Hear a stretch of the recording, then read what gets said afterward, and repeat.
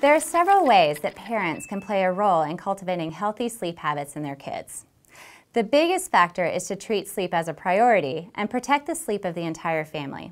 It is smart to have a pretty stable sleep schedule for your kids and to minimize variance from that schedule. Try to allow for variance no more than once per week so that there is an ongoing sense that this is protected time. It is best to arrange activities within your family schedule so that there won't be a major conflict with that schedule. Obviously, their value of sleep will be developed in the way that we model sleep, so it also matters to have a similar schedule for yourself. It can be really helpful to think about how you talk about sleep within your house.